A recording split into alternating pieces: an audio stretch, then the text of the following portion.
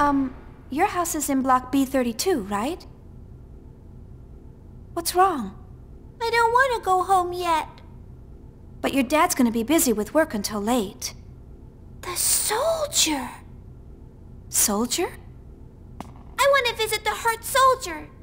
Oh, you want to go to the church? Yeah, I'm gonna bring him flowers. I see. Okay, let's go. Me. There's flowers in the garden outside.